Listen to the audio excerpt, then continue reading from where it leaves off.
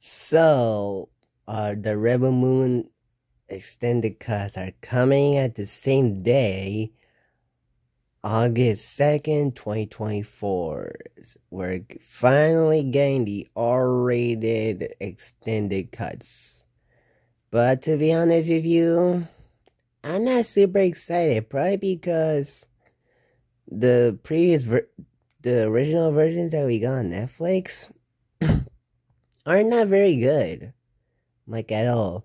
Like, there's a difference between how the Justice League movie was because the Justice League movie did not work not because it's bad, not just because it was poor.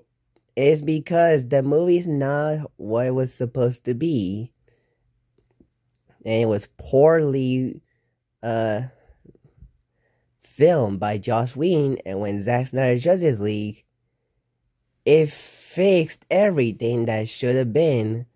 And probably Rebel Moon extended cuts are probably only gonna fix some of the uh, stuff missing from the original movie. It feels like the Rebel Moon original versions from Netflix PG 13 ones are like the basically the movies just shorter and has a lot of cuts so yeah, that's how I feel about these movies.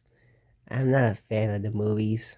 Uh, but let me know in the comments below how you feel about this. Peace out. Bye.